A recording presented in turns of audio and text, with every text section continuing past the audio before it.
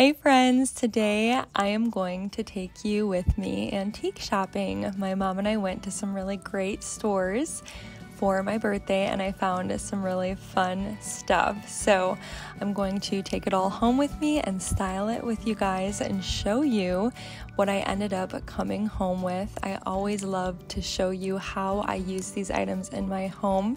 And so uh, then at the end of the video, I'm going to give you a little tour of my garden, show you what's growing and what's not. So I'm excited to take you guys along. It'll be a fun video and I can't wait to show you what I found. We thought this would look good in Jessica's house. 75. It's a cute table.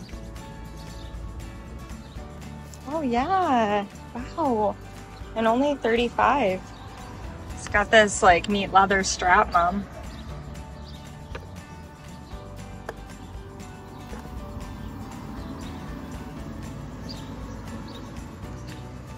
love this one. Like for the boys' room 18. This would be so cute in the boys' room, wouldn't it? Oh yeah. I might grab that. so it's, yeah, that's really cute with the leather.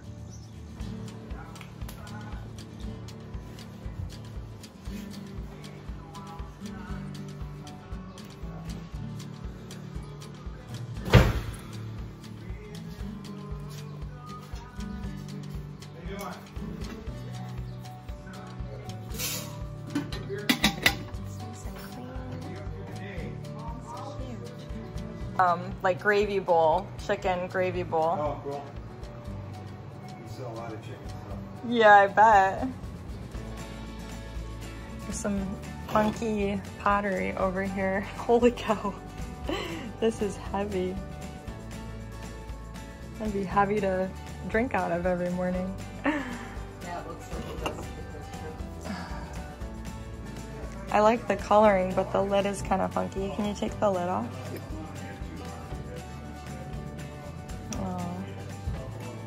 That's cool. Now, is this a um, chamber pot? Boy, I don't know.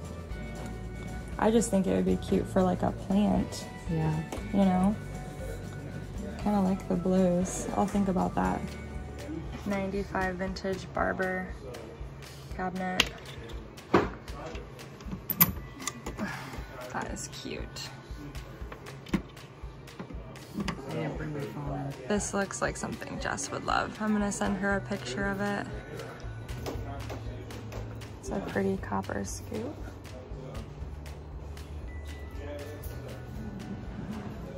All right, guys, I wanna take a few moments to tell you about our new Typhur Dome air fryer. This thing is amazing and I'm excited to share it with you. Inspired by professional pizza ovens, Typhur Dome's dedicated R&D team spent years reinventing the airflow and circulation of the air fryer. This breakthrough renovation has made it possible to cook large quantities of foods. So with a lot of traditional air fryers, you see that they are taller rather than wider. And what I love about the Typhur Dome air fryer is that it's nice and wide so that you can lay your food in a single layer rather than stacking it up on top of each other.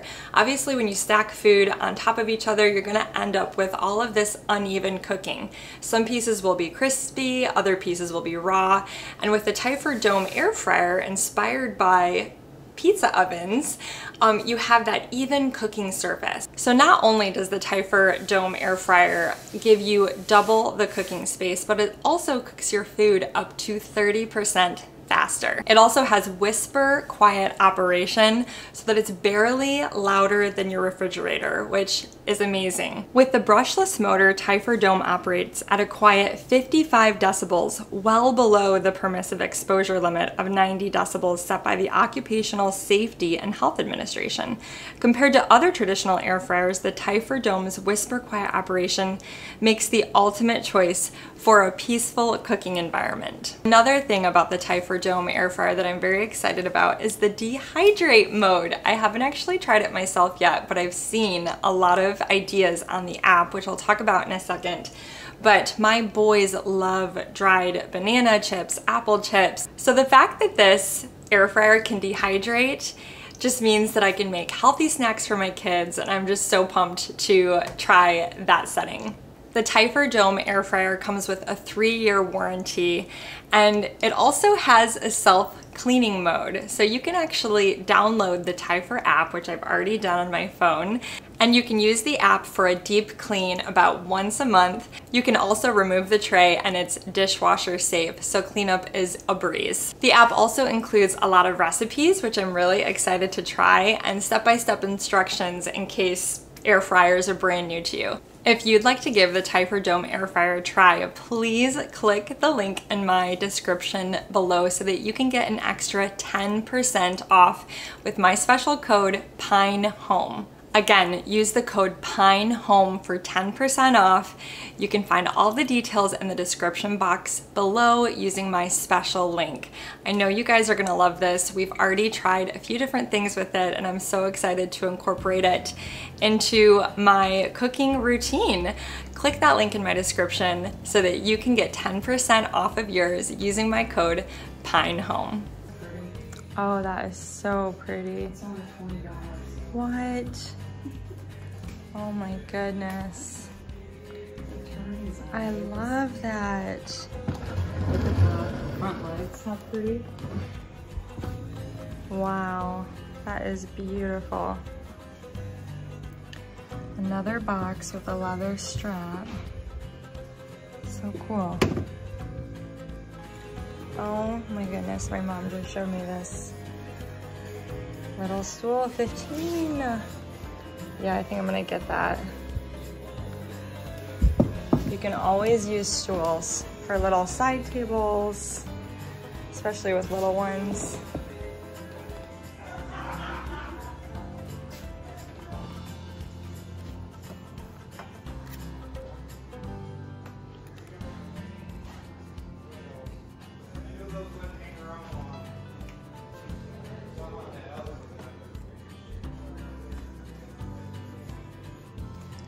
Cute stuff over here.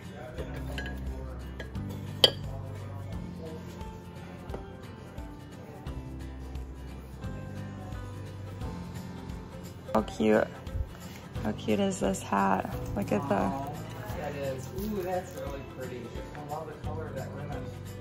I just feel like it'd be so pretty on a wall. It's only $8.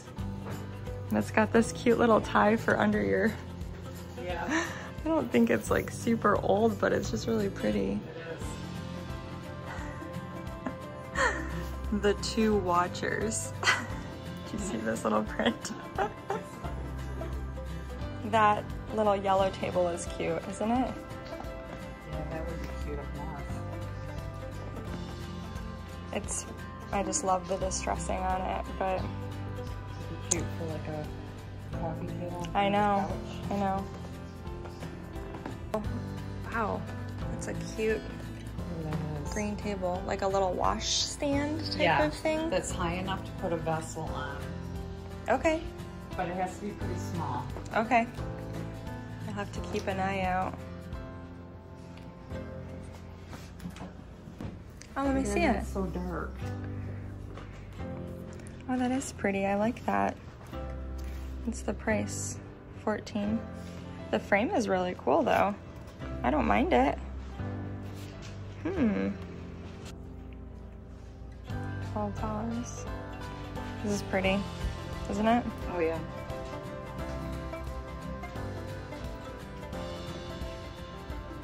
Just saw this little guy and I don't see a price. Oh, wait, wait, here's a price. 18 on this one. It's pretty though. Two things from this booth. Yeah. Actually, this brass frame is pretty.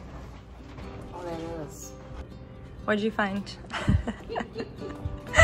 that Found a good cool. price. Look at that oh price. Oh my goodness. Where would you put it? By your fireplace? Yep. Cool, Mom. Yeah, Norway. Oh look. All the different oh, countries. Yeah. Super cool.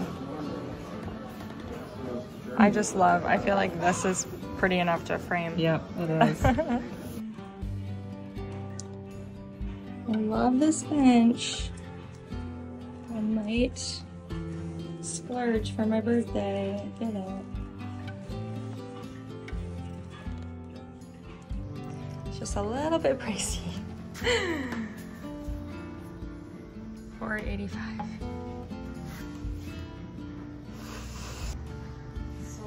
Yellow mean? I don't know. I didn't even notice this. Are there like sale items? over here we have the yellow. Maybe they just renumbered it. We can always ask.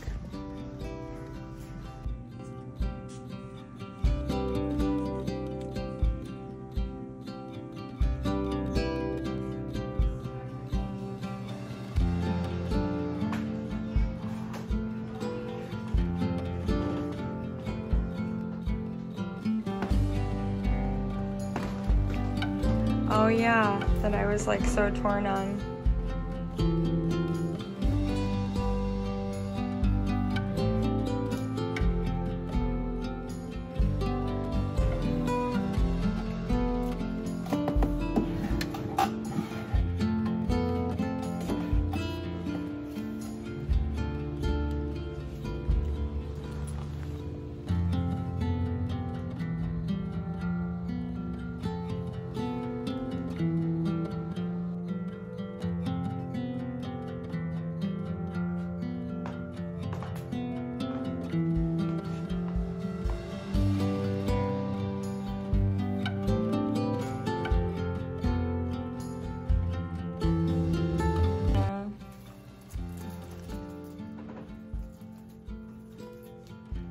Just can't think of another place. I mean, it is skinny enough it might be pretty. Um, One forty-five though. oh, really? Let me see. Is it in this booth? Oh, that is really cool. I wondered if it was to drain shoes. Oh, yeah. Yeah. but I don't know.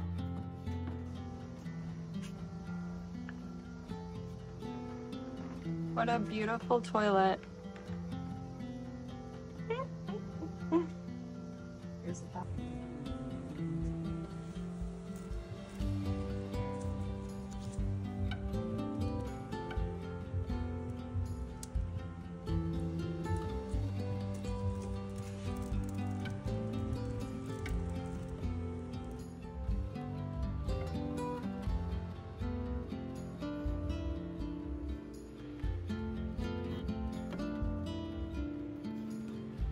Yeah, that's really cool. I like that. Let me look at the price again. It's not bad. I might grab that.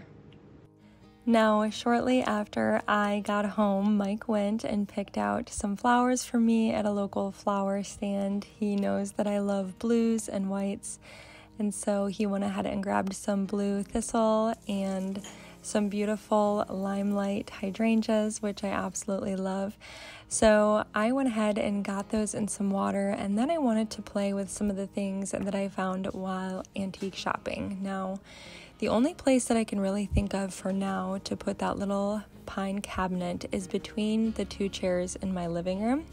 I'm gonna live with it for a while and see if I like it. The one thing that I do love about it is that it is smaller, so I can push the chairs closer together and have a little bit more room in my living room space. Now, I do really love that round table that I moved out of here, so I would definitely find another place for that. I stripped that table and it really is so cute. My mom actually gave that to me, but I'm like I said, I'm gonna try the cabinet here for now. And here's the hat that I grabbed at the antique shop. I think it was $8, which honestly is a lot for me. I usually pick them up for a couple bucks at the thrift shop, but that one was special and I wanted to bring it home. I love all the details in this cabinet, and I especially love the fact that it has a drawer and a door. Obviously, we read a lot in these chairs, and so having a spot for our books and just a little drawer to be able to put the remote has been really great. And for now, I'm really loving it here.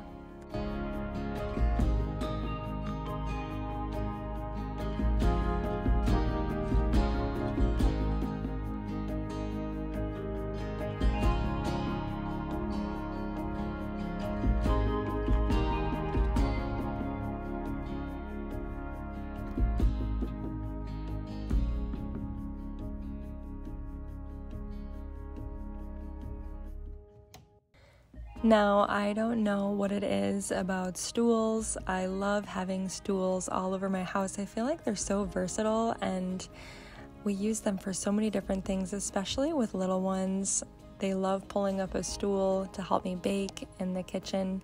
Anyways, I stuck this little wooden stool here in the dining room because I thought it would just be great to have in here for extra seating. Someone could pull it up to the table. We always have to go and find extra chairs when we have large crowds over. So um, I just I thought this was really cute, and I'm just gonna leave it here for now. It would also make for a great side table as well.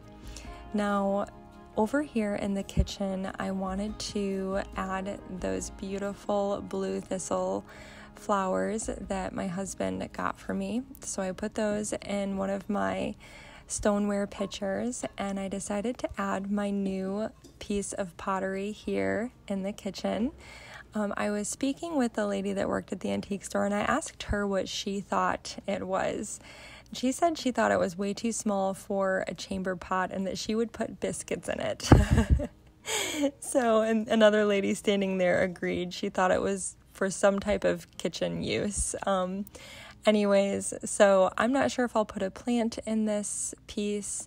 Uh, but I just really loved the soft blue flowers and the color of it, and I thought it would look really pretty in my kitchen. I love using blue as an accent color in here, especially with my blue stove. And speaking of blue, I did end up getting that cute little chippy blue stool for my kitchen the uh, the man actually went lower on the price for me and I love it. It's the perfect shade of blue. It is so pretty here in my kitchen. It's nice and sturdy and my boys have already used it a hundred times to step up, wash their hands, help me when I'm baking or making bread and I just think it's so beautiful and I love it here in my kitchen. So that is another piece that I grabbed with my mom.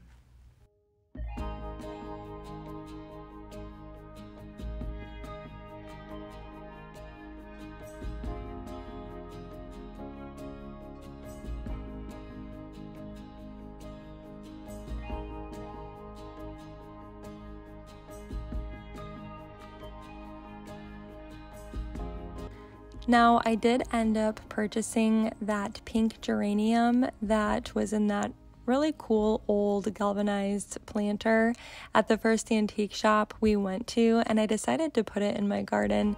And since we are over here in the garden, I thought I would share what's growing, what's not growing.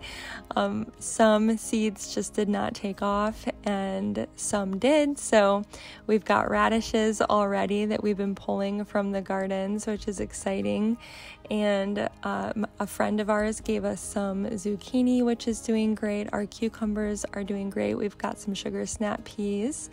Um, but the beans, the green beans, the first batch of seeds I used did not take off. Maybe it was a bad batch, I'm not sure. So we planted really late this year. You guys know the whole story behind these beds, but it's been a lot of fun. And here is the pink geranium that I got at that first antique shop. I think it looks so pretty here in the garden right there next to the gate on the pea gravel. And I wanted to share it with you guys. So, thank you so much for coming along with me. I have so enjoyed shopping with you today and styling all of my finds with you guys. It's always so much fun sharing what I find. Thank you guys so much for watching. If you're new here, I'd love for you to hit that subscribe button and I will see you guys next time. Bye bye.